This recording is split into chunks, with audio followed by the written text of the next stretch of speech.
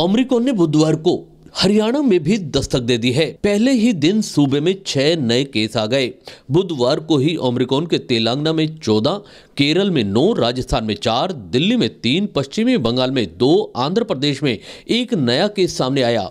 हरियाणा के health and family welfare minister Anil Vij ने बुधवार को विधानसभा में बताया कि गुड़गांव, फरीदाबाद में ओमरिकॉन के तीन तीन नए मामले सामने आए हैं।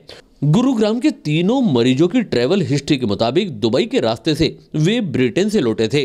तेलंगाना में मिले सभी चौदह नए केस मेडिकल टूरिस्ट के हैं और दो ब्रिटेन से आए हैं। बाकी चौदह केन्या सोमालिया से आए थे। केंद्रीय स्वास्थ्य सचिव राजेश भूषण ने कहा कि ओम्रिक्रॉन कोरोना के पुराने वेरिएंट डेल्टा के मुकाबले तीन गुना तेज़ी से फैलता है। इसलिए राज्य ज़रूरी उपाय अपनाना शुरू कर दें।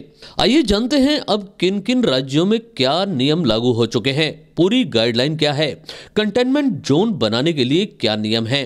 कब लगाया जा सकता है? नाइट कर्फ्यू स्वास्थ्य मंत्रालय ने कहा कि अगर किसी ज़िले में पिछले एक हफ़्ते से टेस्ट पॉजिटिविटी रेट 10 फ़ीसदी से ज़्यादा है या ऑक्सीजन बेड की ऑक्यूपेंसी 40 फ़ीसदी से ज़्यादा हो चुकी है तो ज़िले में पाबंदियाँ लगाई जा सकती हैं। पाबंदियों में नाइट कर्फ्यू टेस्टिंग और कंटेनमेंट जोन जैसे उपाय शामिल हैं। इसमें डेटा एनालिसिस पर ज़ोर देते हुए राज्यों और केंद्र शासित प्रदेशों से अपनी सीमा में आने से पहले संक्रमण रोकने के उपाय करने को कहा गया है। वहीं स्वास्थ्य मंत्रालय ने कहा कि बाकी परिस्थितियों को देखते हुए 10 फ़ीसदी से कम पॉजिटिविटी रेट होने के बाद भी पाबंदियाँ लग सकती हैं। जनसंख्या घनत्व और ओमरिक्रोन की तेज रफ्तार को ध्यान में रखकर फैसला लिया जा सकता है।